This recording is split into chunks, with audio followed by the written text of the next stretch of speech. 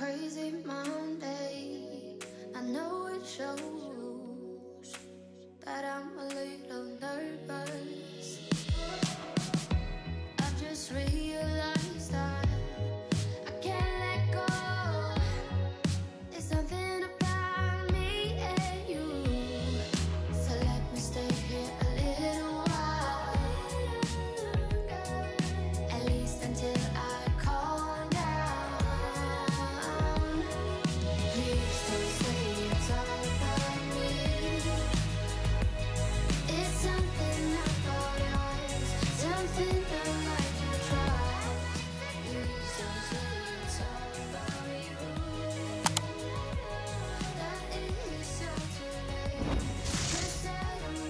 Regresamos familia. Ahora les voy a dar unos consejos de lo que he aprendido en el último año de cómo buscar estos tesoros lo más pronto posible. Nos vamos a regresar al Discord para que les enseñe algo. Una vez más se vienen al canal de la búsqueda de tesoros en los mensajes fijados. Esta animación que nos dio Messi, que también está en el documento de Cebras, pero este, como pueden ver, está animado es un video corto. Una vez que le entiendan a estas flechitas, a las distancias familia, van a poder lograr encontrar estos tesoros más rápido. Como les he dicho, siempre tengo problema con estas dos flechitas. Cuando salen aquí, miren cómo se mueven los círculos. Las primeras una, dos flechitas siempre me confunden. Pero una vez que le entiendan a esto familia, les va a ayudar muchísimo. Y es cosa de practicar, practicar, practicar. Al ver esta animación, me ayudó esta, a entenderle a esta flechita, esta roja de que está entre 50 a 200 metros. Ya le entendí a esta. A estas dos todavía no les entiendo. La de 3 a 10 kilómetros, más de 10 kilómetros. Lo que vamos a hacer ahora familia, vamos a buscar este tesoro. Tal vez no lo encontremos porque quiero explicarme bien qué es lo que estoy haciendo paso a paso. Así es que no se enojen si no lo encontramos, ¿ok? Como les había yo dicho, esta primera flechita siempre me confunde. Está a más de 10 kilómetros de distancia. Me gusta marcar los barrios porque eso me ayuda a entenderle las distancias por alguna razón.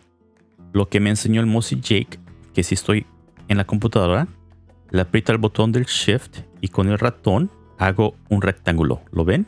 ¿Ven este rectángulo? Si lo hago chiquito, junto a mi propiedad y lo suelto, me acerca a mi propiedad rápido. Le hace el zoom rápido, mire. Triángulo y cómo se acerca. En lugar de estarle haciendo con el ratón, con la ruedita, así, miren. Muy fácil. Si hago el triángulo chiquito y se acerca. Practiquen eso, ¿ok? Lo muevo hacia acá. Llega.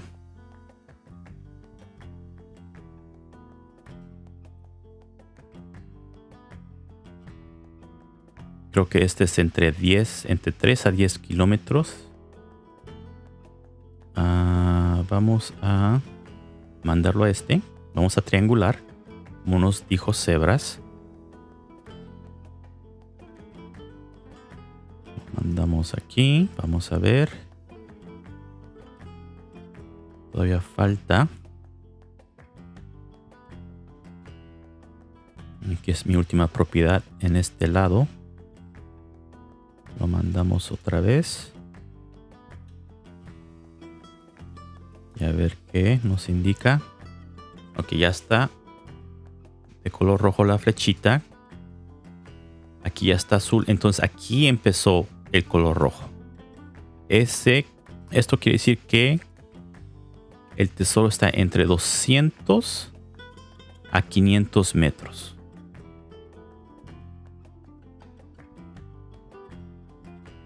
Lo que tienen que hacer familia, bueno, ahorita vamos a calcularle. Lo que hacía yo antes familia, cuando me salía la flechita roja, contaba yo cinco cuadras, cinco secciones, entre 4 y 5, 1, 2, 3, 4, 5. Así es como calculaba yo la distancia. Recuerden, me voy a una FCA, miren, me da 20 UPEX, para que no pague yo 40. Por eso me gusta tener los FSA marcados. Esto me ayuda cuando estoy buscando el tesoro solito. Si estoy compitiendo con alguien, quiero llegar a esa propiedad lo más pronto posible. Y tiene el tesoro, no me importa pagar muchísimo. Como pueden ver, ya se prendió otra vez. Esto quiere decir que está entre 50 a 200 metros que es esta distancia, esta sección, desde arriba hacia abajo. Entonces creo que va a estar por acá.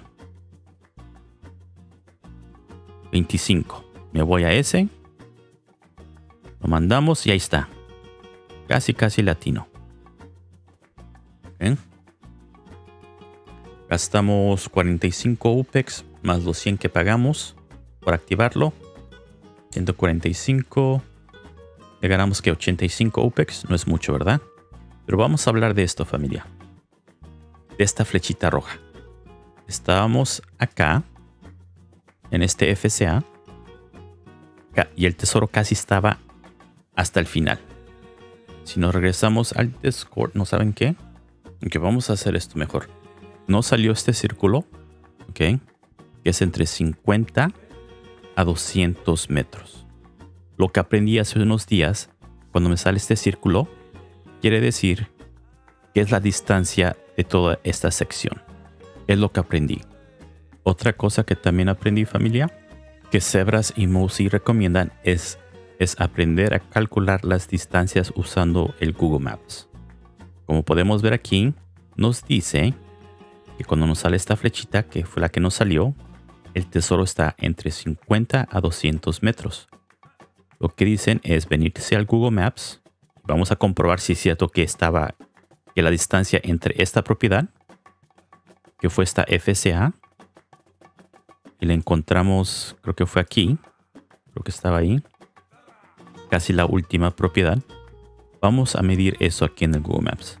Desde aquí, y lo vamos a medir hasta acá.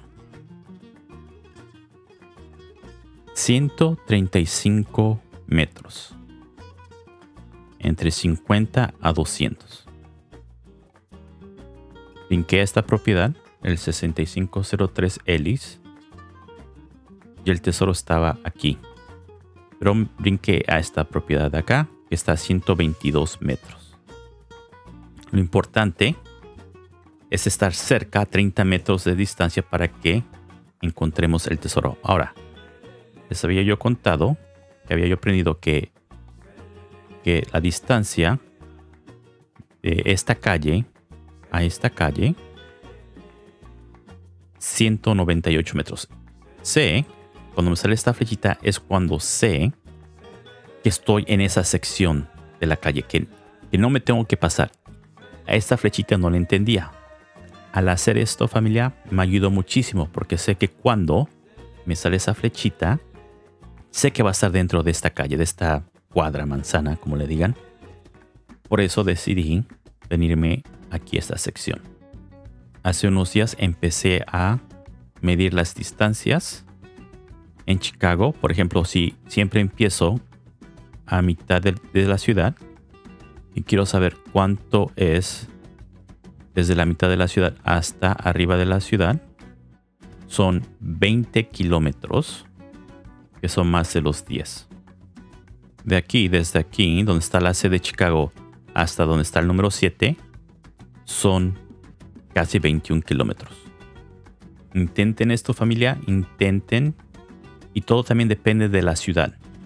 Tienen que empezar a calcular estas distancias dependiendo de la ciudad en donde van a estar buscando tesoros, donde van a hacer su red de propiedades. Ahora que empecé a hacer esto, que empecé a calcular, me, ayudó. Me ayudó con, con esa flechita roja, la que nos indica entre 50 a 200 metros. Me tomé el tiempo de aprender, porque como les he dicho, muchas veces lo único que tenemos que invertir en nuestro, es nuestro tiempo. Vayan a la ciudad donde están buscando tesoros, si tienen propiedades, calcúlenle, ok, de esta propiedad, ah, no puedo medir aquí. Vean dónde están sus propiedades y calculen si tienen una propiedad aquí y tienen otra propiedad aquí después del río este. Van a saber que, son más de 5 kilómetros. Si les sale una flechita, esta que se mueve un poquito más rápido, van a entender que no se tienen que pasar del río o de la autopista que tal vez ese tesoro esté entre su propiedad y esta carretera, esta autopista. Pero tienen que invertir ese tiempo para calcular las distancias entre sus propiedades. Si hacen eso familia, les va a ayudar muchísimo. No va a ser necesario que lo hagan para cada propiedad.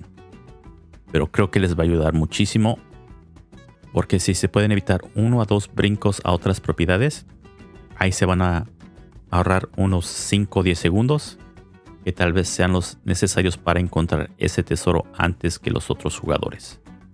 Pero si se van a dedicar a buscar tesoros los estándares donde no están compitiendo con nadie, tal vez no sea necesario hacer todo esto.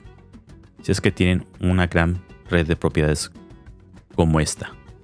Es algo que tienen, tienen que pensar. Si no tienen para invertir tanto en esta red de propiedades, van a tener que aprender a calcular las distancias dentro del juego. Bueno, este video ya está un poquito largo. Vamos a hacer otro a ver si a ver si ese es el último. Pero vamos a hablar de otras cositas que hago cuando estoy buscando los tesoros. ¿Ok familia? Como siempre, dejen un like. Espero que este video les ayude un poquito más a entender sobre las, las distancias. Cómo usar el botón del Shift para hacer el rectángulo. Y cómo le hace el zoom muy rápido. Gracias por acompañarme familia. Que tengan bonito día. Y nos vemos despuesito en el próximo video.